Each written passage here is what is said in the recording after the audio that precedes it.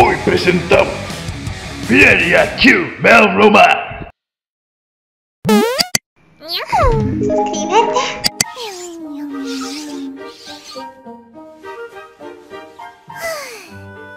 Hola amigos, yo soy Enres y esto es Enresign.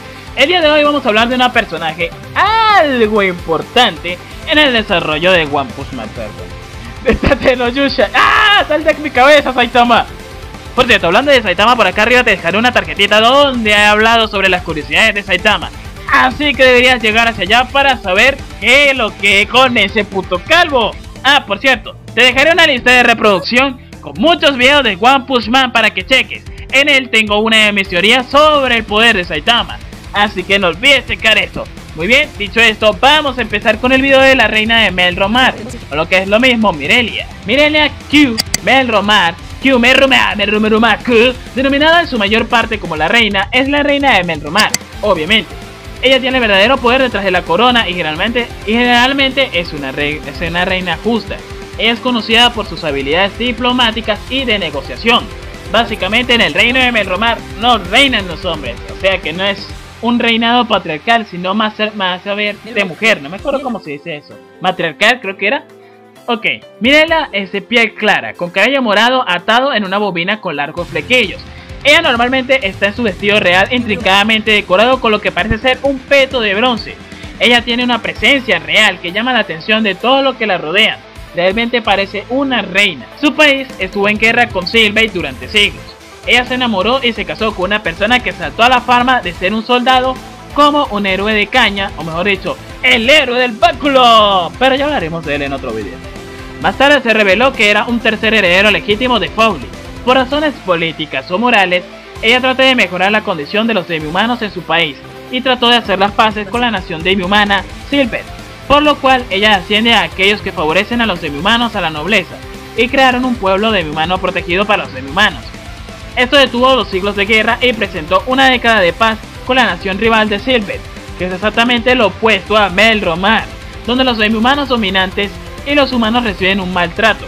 Silver también siguió su ejemplo y estableció una aldea protegida por humanos. Se reveló que todas sus acciones se deben a sus pasatiempos de la leyenda de los cuatro héroes y la inspiración de Fowley, donde tanto el humano como el demi-humano coexisten en paz, mientras que su nación tiene disputas inútiles. Antes de que comenzara la guerra, la reina estaba involucrada en la diplomacia. Los asuntos internos de Melromar también fueron excelentes y dejó el país en el que confiaba como su, su mano derecha, o sea, su marido. Pero murió durante la guerra. Se reportaron daños por las guerras en todo el mundo, una conferencia mundial, y cada país estuvo pre-representado por su rey o reina. Por supuesto, hubo países que estaban mal. Melromar es héroe, por ejemplo. Una profecía que afirmaba que el mundo se enfrentaba a su fin, por lo que sus hostilidades entre ellos quedaron en suspenso hasta que se completara la conferencia. Durante la conferencia se decidió que Melromar era el cuarto en la fila para realizar la convocatoria. Pero esto se lo pasaron por los huevos e invocaron a los héroes a la verga.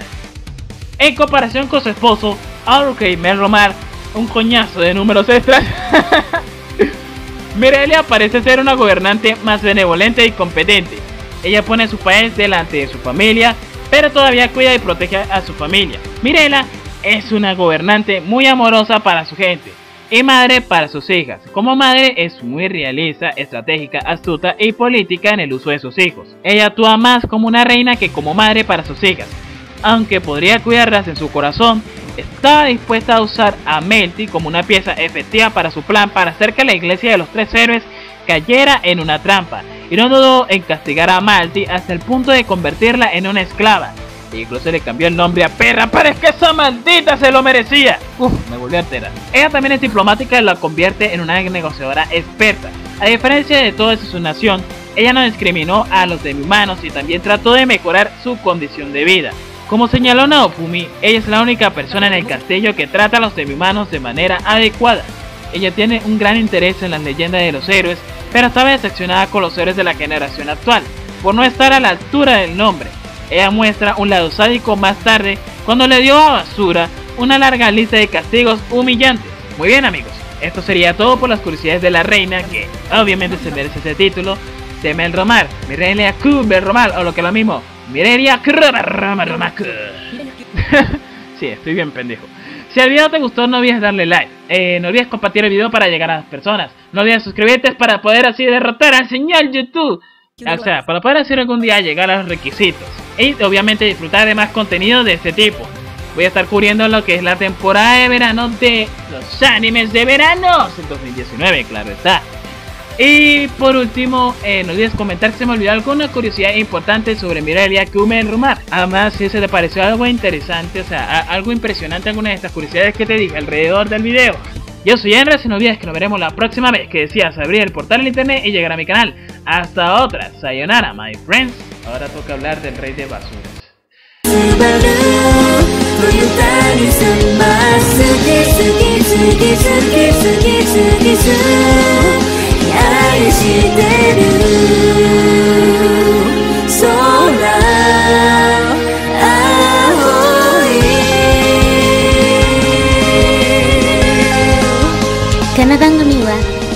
スポンサーの撤去をでお送りします。